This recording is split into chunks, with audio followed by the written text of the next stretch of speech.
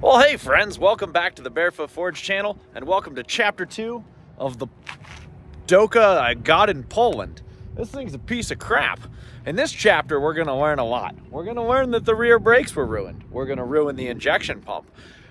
Oh, what else are we gonna do? We're gonna replace the ruined CV joints. We're gonna use a large hammer. We're gonna snap the injection pump in half. Uh, then we're gonna receive a very professionally wrapped package from Latvia. That's how you know it's good. Then we'll rebuild the ruined shifter, and we'll find out what else is ruined on this car. This is a fun chapter. I think you're going to enjoy it. First breakdown on the Doka. I've put something like 12 kilometers on it, which I don't know what that means. No one really does. Thing. Now the pedal up there seems to not affect, well, it doesn't move. So luckily I brought all my tools with me and we're gonna fix it in this parking lot. I think I unbroke down because I had some tools right here. So it had vibrated out so that this couldn't move at all. But now this moves. Next up, we're going to try to make it so it doesn't smoke so much. I talked to my buddy Carl. He's an expert on these things. And he said I need to get some of this Liqui Moly diesel purge.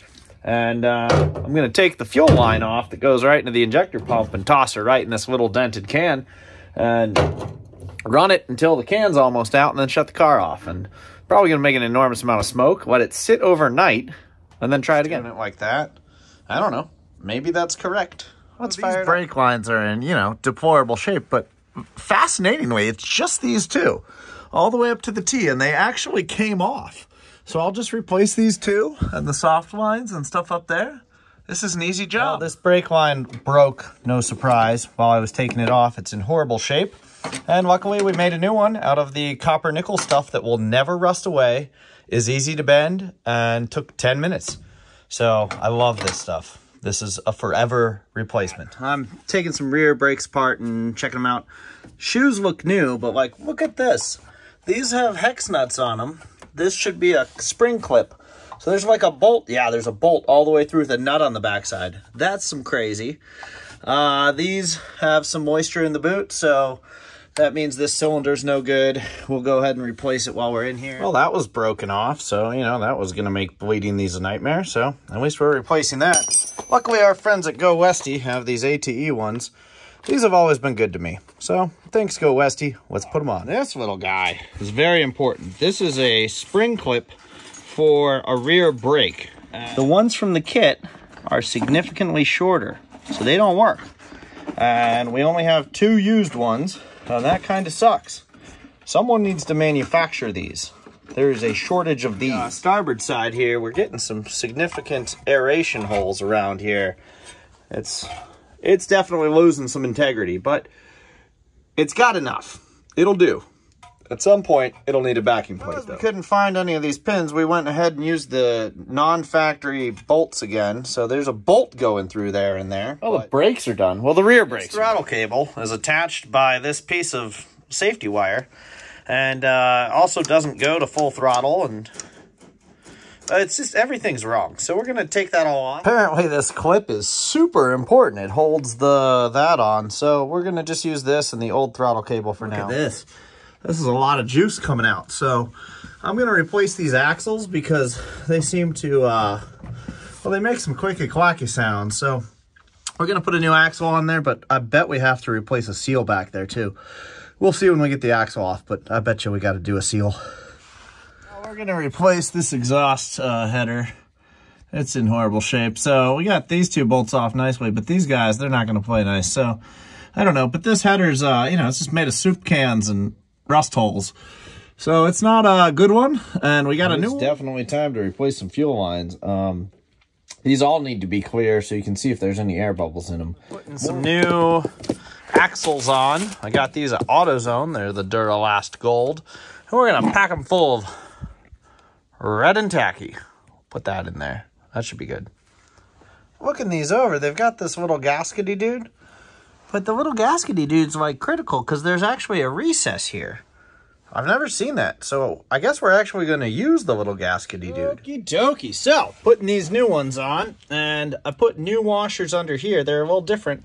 And I'm not getting quite the same thread length as I have over there.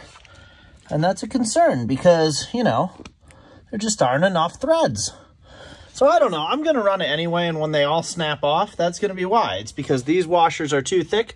These bolts are the same length, but, um, or something else is wrong. Maybe this is thicker. Oh, it's thicker. I'm seeing it. I'm seeing it now. I got this on Amazon. These are awesome. I'm going to add this to the inline. So if, uh, you know, the pump goes dead or whatever, you just give it a couple, few of those. I'll post the link. Yeah, boy. Well, here's a super fascinating twist of events. I've spent way too much time trying to put these axles on.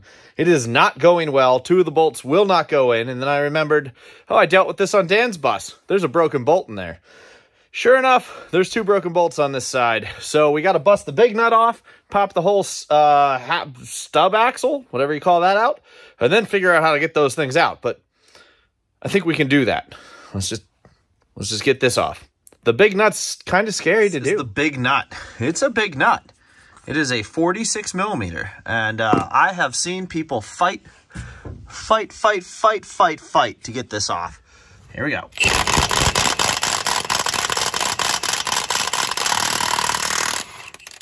It's not even hard. I've never had a problem getting that nut off with this tool. It's insane. Fair enough. Two broken bolts. Those two. See them back there? Now, because they're not under any tension, these will come right out. A pair of vice grips on either side. This should move real easy. This only added about 30 minutes total to the job. It's pretty easy to do if you have the right tool. Seriously, I was able to get these out entirely with my fingers. It's not bad at all because there's no tension. So when in doubt, just take this thing out. Don't try drilling these things out in place or anything. They come right out. Actually drove this car to work and back yesterday, and it worked flawlessly. I pulled it right into the garage, and now it won't start at all. No starter clicks, no sounds at all. It's still been smoking a lot, leaking a lot of fuel, so we're going to dive in deep, pulling the injection pump off, which is terrifying because I have no idea how to do that. So we're going to have to take the timing belts off and the injection pump off, and then we're going to like rebuild the injection pump or replace some seals, hopefully find the leaks. Since I don't know. I really honestly don't know. I'm just going to get in way over my head, make a series of bad decisions, and then figure out how to put it back together. For the life of me, I cannot get straight on these two bolts because of the bumper here. I could take it off, but I have a hammer.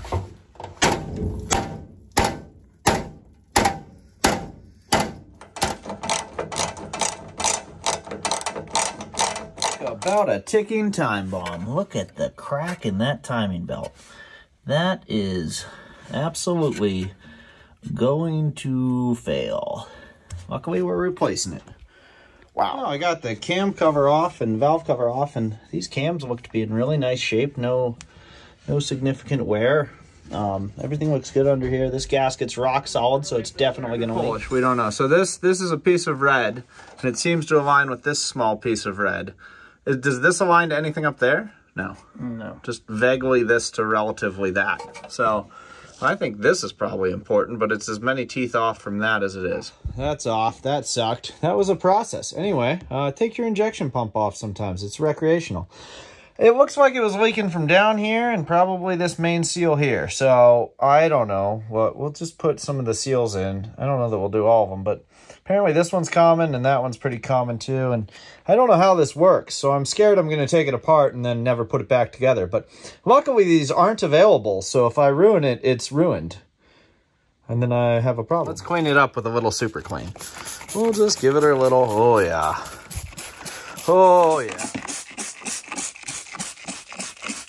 Well, I'm real into it now. I honestly have no idea how this thing works. But I'm learning a lot, and this washer was loose inside of there.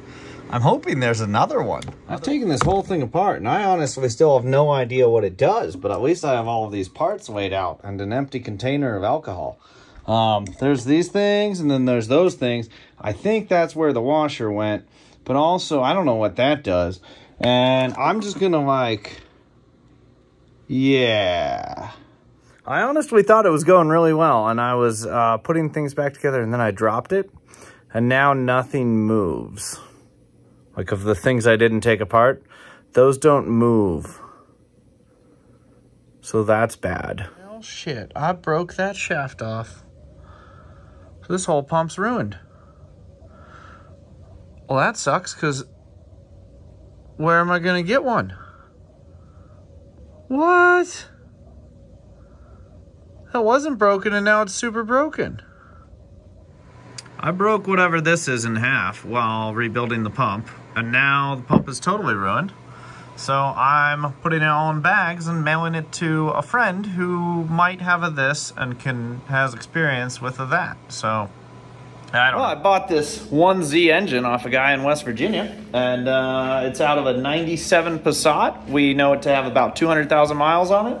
Uh, he drove it up the driveway and then took it out to do a future swap, so maybe we'll put it in the Doka. So we'll this is the harness that goes with it. This is a fully modified harness by, uh, who makes this? It was uh, S&P. S&P. This is a fully modified S&P harness to run this 1Z easily in a Vanagon. So hopefully this will be fully electronic and plug right the in. The pump is back. I had to send it on a little trip for a while to get it all rebuilt because I snapped it in half. A buddy of mine who has experience and has taken one of these apart had the replacement part and was able to put it back together properly. We are now confident in it, which is a wild thing. So in theory, uh, this should be good. If we have issues, it's no longer the injection pump. It's everything else. So I don't know how to put this in. Let's figure it Everything's out. Everything's off and I've turned all the pulleys. So now nothing's set relative to itself. So I'm just cleaning things. I got these cool brushes that go on the end of a drill. Got them on Amazon. I'll put the link. Look at that. This is a cool thing. I needed this. There's a bunch of different sizes. I get the vibe I should replace this thing because it's like in horrible condition. Never mind. I looked it up. You can't get one. This doesn't exist, so we're going to put it back Well, I learned a lot about how timing on a diesel works and how a timing belt works and how all of this goes together because I've screwed it up many times. So now it might be right. Basically, we take the the this thing and we put the this thing in the back of the that thing and then this whole thing can move a little bit like a distributor on a on a gasoline motor and we have to rotate by hand until this is at the right spot and then we lock it down and then that and the right spot is one millimeter whatever that means. At 1.0. This is pretty confusing to learn, but I've been through it a million times now, and I am now very confident that this is set relative to that, which is set relative to that.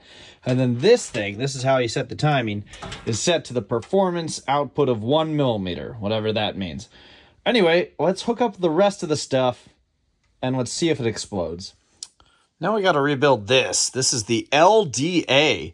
This provides fuel enrichment when the turbo does turbo things. So when you need more gas to go faster, this does it. There's a diaphragm in here. It's broken because it doesn't do things right. So I got this kit from Germany, and it has a this. We need a this. But to take it apart, we need these German instructions and these tiny bolts. I think we cut the whole thing apart, and then we... I don't know. This is going to be fun. I'm going to find out what's inside of that. Well, that's what's in there. See, that diaphragm's all kinds of screwed up, and that's probably why it wasn't doing diaphragm things. We'll put a new one in. I think we cut this off, throw a small thread in there, just make it up as we go. It's going to be fun. That wasn't too hard. We'll see if it works. Solved all of the problems, probably. And we've cranked it over till the battery went dead and had to charge it back up four times. We now have fuel coming out at at least three of the injectors um, with them cracked. We're seeing bubbles and stuff. So it's not like good fuel yet, but I hooked them all back up, and now on this next charge, we're gonna we're gonna give it the full send. I bet you she starts. Go for it. Ready? Yep.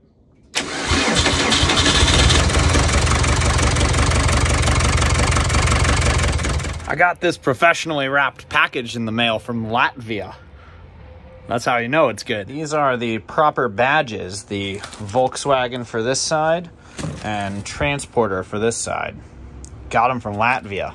Let's put it on.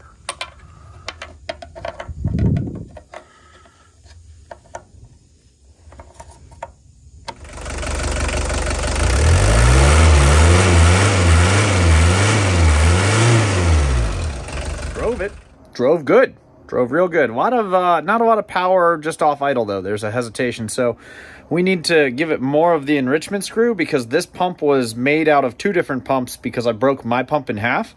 And the other pump might not be the right pump, so the screw's not right relative to that. That makes sense to me. So I was told to break the collar off so I can screw the screw in further to give it more fuel. That makes a lot I'm of talking sense. Talking about this collar right here on this little guy. Got to get it off so we can send that screw a little deeper. Well, the wipers don't seem to work right. And I looked at the relays and there isn't a wiper relay in there. So I can't believe they work at all, but let's put one of these in. Maybe that fixes things.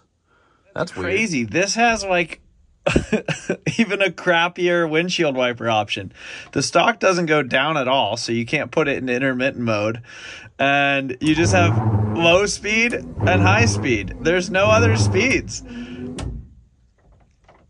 That's insane. We need to retrofit better things Okay, to this. wiper time. Taking off this 18 inch wiper, these suck. Putting on this 21 inch wiper on this side and a 19 on that side. That's a that's a top quality hack. The GoWesty guys have been doing that for years.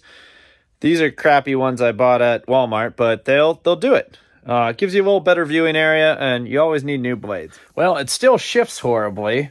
It's not necessarily reliable yet. Um, you know, none of the doors locks work. There's a lot of issues with this car still. So let's proceed to putting a stereo in because, well, it's just more fun that way. Now, this vehicle came factory equipped with probably close to nothing. There does appear to be one speaker mounted in the center of the dash. I'm excited to see how they wired that in. And uh, there is some kind of weird radio in here that doesn't fit right. So we're going to rip all that crap out and rewire things to run this Pioneer unit. These new units are pretty slick. They're very narrow, or very, uh, they're not very deep.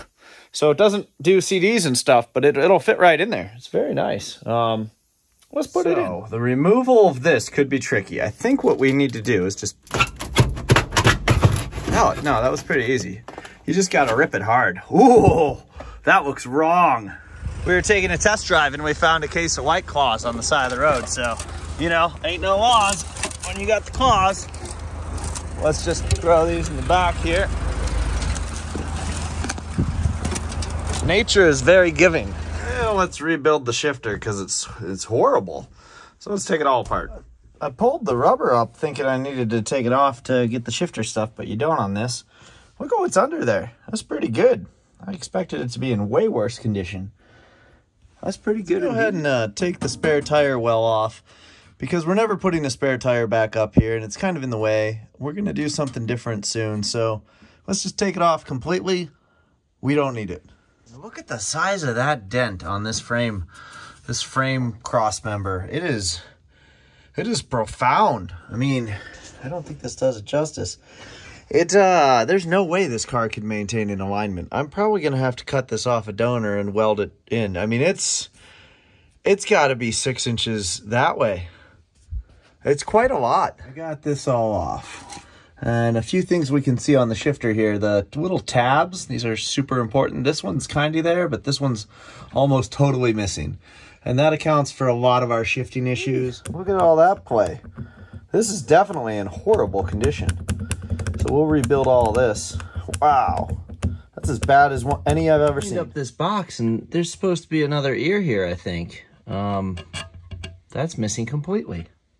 That's super Putting in this 1991 uh, Syncro stock instead of the 1989 turbo diesel stock, and I can see the bend is different a little bit. So I don't know. This might be very undesirable and put things at the wrong spot, but I'm also not rebuilding this. I'm just packing it with grease. I cleaned it real good because it's in good enough shape, and this car is a piece of crap. So we're just gonna use what we've got and put it together. Friends at GoWesty make this great shifter tab repair kit. So you get these little dudes and some epoxy and you replace them.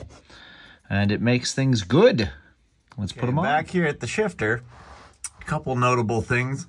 This is all completely wrong for this car. An 89 would not have had this early style shifter. This is like US spec air-cooled or 82, 83 diesel. So somewhere in the middle of this shaft, they cut it in half and welded the old half on the back with the new half on the front. So this is all very wrong. You can see things like this mount because this mount isn't correct to put, this transmission should not fit in this car. You can see they extended it by an inch and welded it with a stick welder. They did some very creative garbage like that. Also, you can see that uh, the factory screws are all broken off on this side of this mount. So they just sort of drilled in some new ones. These are just like some sheet metal screws, some self-tappers holding the whole thing together. So this portion of things, including this actual transmission, is incredibly wrong for this vehicle. So I think this has already been completely custom made with the whatever on the end because somehow this is supposed to go on there, but this doesn't go on there because this is a this. Anyway, whatever this rubber compound is, I'm sure the fine people of Poland did a great job manufacturing this with just a drill and some sandpaper. That's what it looks like. The problem we're running into back here is that this guy that we took out is so ruined that like it's totally square in this direction. And it looks like in order to, I don't know, probably deal with sloppy shifting, they squeeze the metal tabs in. So now this guy doesn't fit in. So I have to like either spread that or reuse this square Look at that. This is so ruined. Everything on this car is completely totaled. Well, I think I got the shifter shifting. So the thing back there, I uh, I just took it and I, I did bending. I just bent. I bent to open because I think they bent to close. So I bent to open. Now it's open. I was able to shove the other ball in there. It's way too tight. It definitely, you feel it up here, but it'll wear in. I don't know. I'm going to put some miles on it. Uh, lots of grease. It's together. It feels like all the gears are there, but you don't know till you drive it. We'll find out tomorrow. Today I pulled the muffler and more importantly, the uh, oil pan off. The oil pan's been leaking and I want to go through it and I want to deal with everything. I don't want this car to leak fluids. I want all maintenance to be done. I want to abuse the crap out of this car with confidence. So we're pulling the oil pan so it doesn't drip. There she is. It took a long time to get off. There's about a bajillion and a half bolts. It looks like the old seal was made almost entirely out of RTV, and that's probably why everything sucks. Um, we'll have to clean that up. That won't be fun. There's the oil pan. We took the oil pan off.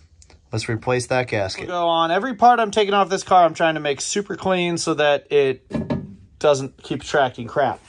We're going to put this back on with this more modern windage tray. This is like a better gasket from a 1.8T. Uh, these leak less, and you can put these on either directly or with a few basic modifications. So that's the game plan. Next up in the Doka project, we're going to put a diesel, super rare diesel tachometer in there. So we're going to pull this out of this 1980, I don't know, nine, two year only turbo diesel Jetta I want to know how fast I'm going because I'm definitely going to blow up this engine. I have no concept at all of what it's capable of, so we need a tach. Well, this is a little more involved than I thought it was, but you know what? I'm just ripping them all apart and ruining everything. What could possibly go wrong? Switching out the this, so it's got the that for the glow plug. We're going to use some of this Permatex anaerobic gasket maker, just a thin smearing on the schmear there. Both sides should make it nice and tight and uh, good for just an example a good example of some of what we're dealing with on this car.